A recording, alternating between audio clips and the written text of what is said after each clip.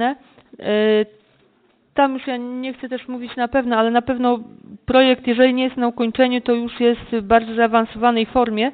Ja nie pamiętam, czy mamy pozwolenie na budowę.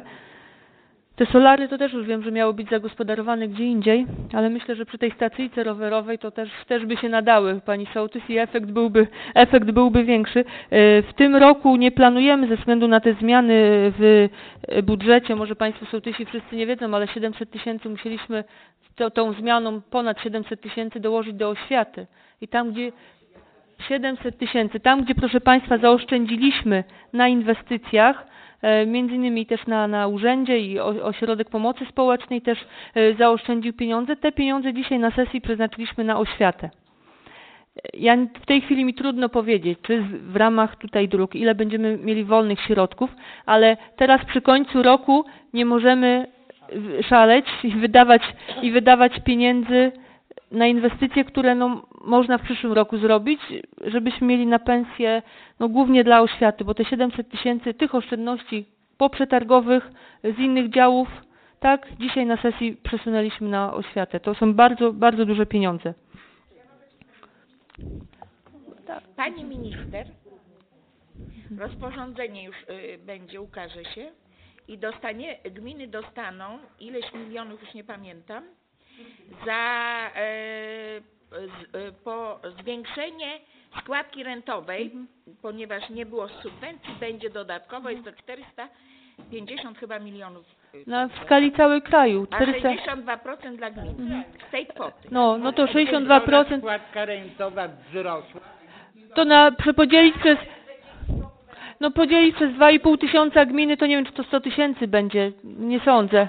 No zawsze coś, bo, bo tu się cieszymy z tego, ale, ale to tak czy siak, no dlatego ja nie chcę obiecać pani sołtys, że jeszcze w tym roku zrobimy oświetlenie, bo oświetlenie można zimą robić, e, ale dlatego wstrzymujemy się od tych prac, które można w tym roku, żeby po prostu nie było sytuacji, że nam pieniędzy. Ja wolałabym, żeby wolne środki e, w przyszłym roku się ukazały i na pewno te pieniądze e, zagospodarujemy. Tutaj informacja dotycząca zakazu, to jest droga e, powiatowa w Przytocku. Jeżeli jest taki problem, myślę, e, myślę że, że, że pojawi się komisja i znak tam zakaz postoju głównie przy, przy tej drodze, żeby, żeby można było przejechać. No chodnik jest fajny, ale przy okazji ograniczył e, zjazd na, na, bok, na, na, na pobocze. Postaramy się, żeby do wiosny ten problem został rozwiązany, jeżeli maszyny większe wyjadą, ale też nie chcę obiecywać jak, bo to też zależy od komisji złożonej z policji yy, i urzędników z, ze starostwa powiatowego. Tutaj prośba o, yy, o OPS, ja myślę, że pani kierownik wyjaśniła, szczegółowo załatwiła, yy, także tutaj wszystko mamy.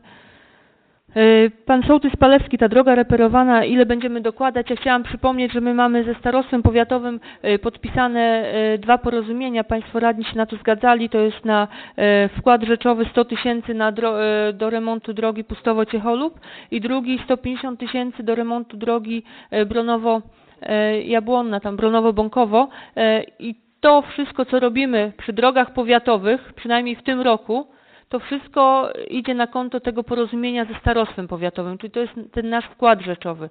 Oczywiście ideałem i marzeniem byłoby, żeby ta droga była w końcu naprawiona i nie trzeba było pieniędzy tam e, gminnych wydawać, bo jeżeli autobus nie może dojechać, czy ten, to, to telefon od razu do gminy, nikt nie myśli, że to jest droga powiatowa, e, ale mówię, w tym roku to na pewno idzie na ten wkład nasz rzeczowy.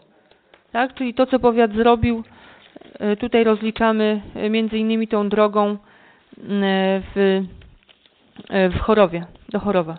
E, Pani sołtys Gładysz, e, chodziło o e, drugą część, drugą stronę.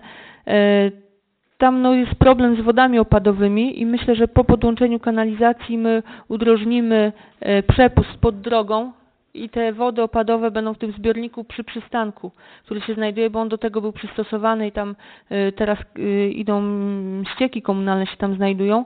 E, Dlatego to utwardzenie z zarządem dróg powiatowych będziemy rozmawiać, bo też chciałam powiedzieć, że to co przy przystanku, to też nasz materiał, tylko firma Ecoinstal układa.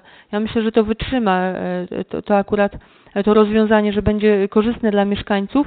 Tutaj no nie chcemy teraz w tej chwili tego robić, bo to też przepusty to y, Zarząd Dróg Powiatowych, bo to ich, ich jest droga i oni się powinni interesować wodami opadowymi z ich drogi, e, no ale w tej chwili też ścieki komunalne lecą i, i też mogliby odbić y, piłeczkę w naszą stronę. W tej chwili no tam nie, nie planujemy, bo i też gmina nie jest właścicielem, tam jest działka GS-u i Zarządu Dróg Powiatowych, starostwa i tam graniczy nie ma, nie ma kawałka e, gminnego, ale myślę, że takie rozwiązanie teraz e, być może jakieś tutaj zaproponujemy tymczasowe, tak? Bo tam nic nie położymy, bo wody opadowe by niszczyły. E, Pani sołtys zagadło o przeniesienie przystanku w Osiekach. Nowa sprawa, ja dzisiaj pierwszy raz słyszę. No zajmiemy się sprawą. Pytanie, czy mieszkańcy Osiek tego chcą? No.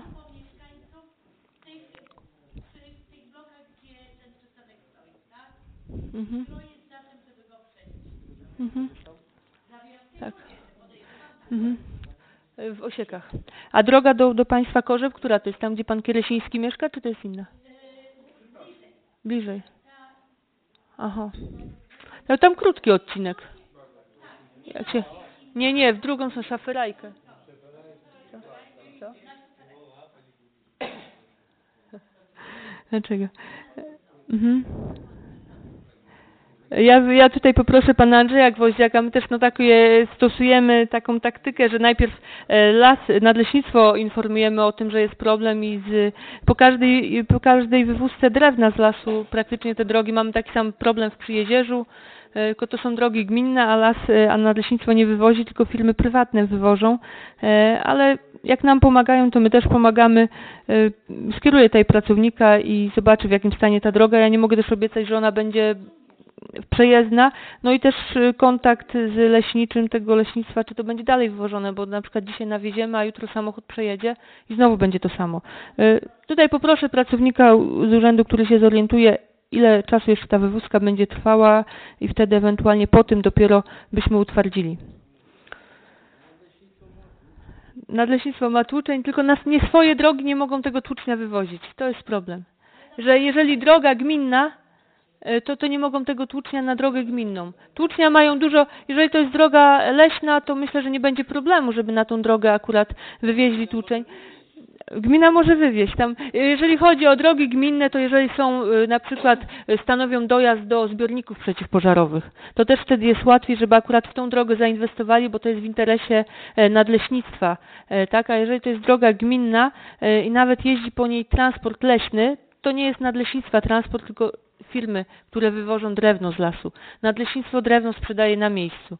I tu jest no stąd ten problem, e, ale jeżeli chodzi o współpracę z nadleśnictwem, mówiłam o tej drodze e, w Żelicach, która no po przetargu, w tym roku jeszcze przetarg będzie rozstrzygany, e, ma być betonowa, to nieduże, to będzie między 200 a 300 metrów, teraz nie wiem już, ale też dla, dla naszych mieszkańców to będzie duże ułatwienie, dlatego Tutaj wspólnie y, próbujemy rozwiązać y, te problemy drogowe. Na pewno też, no, będąc nawet w Tartaku w Korzybiu, to proszę Państwa, tam ponad 60 osób z terenu naszej gminy pracuje, kolejne inwestycje planują i płacą, i płacą podatki też, także y, nie możemy też za bardzo walczyć, bo to wywózka z lasu drewna to też jest praca dla naszych mieszkańców. Ja dziękuję za wszystkie zaproszenia i, i liczę na to, że Państwo radni się poczuli zaproszeni i na otwarcie świetlicy w Obłężu i na otwarcie świetlicy e, w Płocku. W Barcinie jeszcze nie, jeszcze, jeszcze, nie, jeszcze, jeszcze nie doszło. Tak. No to co, mm, no to co pani sołtys mówiła, wieczór niespodzianek w sali gimnastycznej w Barci 7 grudnia. Także zapraszamy serdecznie. Jeszcze nas czeka otwarcie świetlicy po remoncie w Podgórach, pani sołtys. Tak? 8 grudnia, tak? Czy jeszcze nie? A, no imprez nie do przerobienia, ale koniec roku zawsze jest pracowity. E, 8 grudnia e, zapraszamy na konferencję, godzina która? 13 w Miejsko-Gminnym Ośrodku Kultury e, Stowarzyszenie Razem dla Kępi zorganizuje. Bardzo wszystkich serdecznie zapraszamy Państwa radnych. Ale rano, ale rano. Dziękuję. Dziękuję bardzo. Dobrze, teraz przechodzimy do punktu 13, 14. Są to pytania, uwagi mieszkańców. A, przepraszam. Chciałem chyba ominąć, ale widzę, że nie da się. Bardzo proszę, odpowiedź na, na interpelację radnych. Pan Przewodniczący dzisiaj coś omija. E, Plac zabaw przy ulicy Wolności. Panie Radny, zobaczymy ile mamy pieniędzy. W tej chwili takich inwestycji jak Plac Zabaw nie planujemy w budżecie na przyszły rok. Jeżeli się okaże, że mamy wolne środki e, z tego roku, no w Kępicach w takiej miejscowości powinien być porządny plac zabaw.